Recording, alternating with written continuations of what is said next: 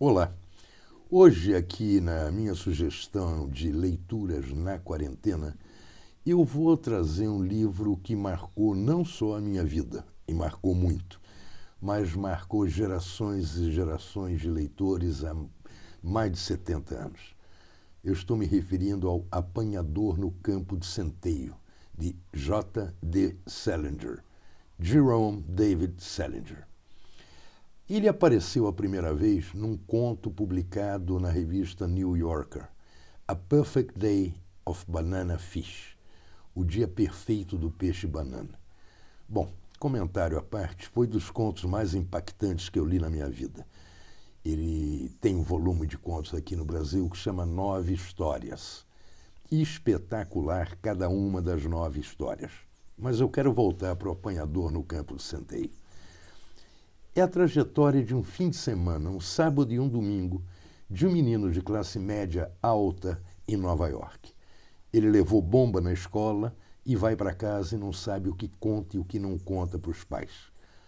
É o retrato do drama da transição da adolescência numa cidade imensa e de um tom intimista e altamente poético.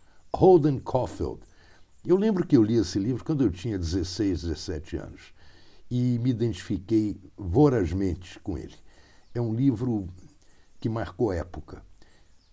Eu quero pedir licença a vocês para ler o nome dos tradutores: Álvaro Alencar, Antônio Rocha e um mestre do ofício, o Jório Dauster. Eles eram três jovens diplomatas, cada um servindo num país diferente e cada um traduzia um, um, pedaço e iam comentando. Imagina isso num tempo que não tinha telefone celular, não tinha internet, não tinha nada disso. A tradução é uma lição do ofício, repito, e O Apanhador no Campo de Centeio é um livro que fez história. Salinger, depois desse sucesso, publicou dois ou três outros livros também muito bons e se recolheu para sempre. Nunca mais ninguém falou com ele, a não ser, claro, a família, a namorada.